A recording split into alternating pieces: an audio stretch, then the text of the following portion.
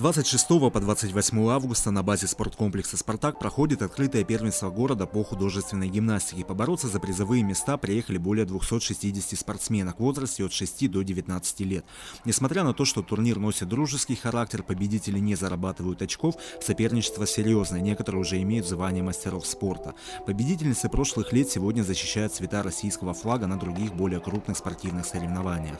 Победительница трехлетнего турнира Анинкова Ирина, наша чемпионка, сейчас выступает на детских юношеских олимпийских играх в Пекине. И пока ну, боимся сглазить, надеемся все, что будет хорошо, пока первая. За призовые места на первенстве города борются много сочинских гимнасток. Для них участие в этом турнире уже стало традицией. Сочинская волна дает возможности посоревноваться с более сильными спортсменками из других городов.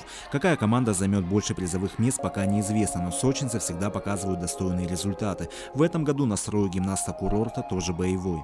Я уже выступаю третий раз. Ну, ну всегда на соревнованиях я была первая. Но выступала я не очень хорошо. Хочу выступить еще лучше, чем на прошлых соревнованиях.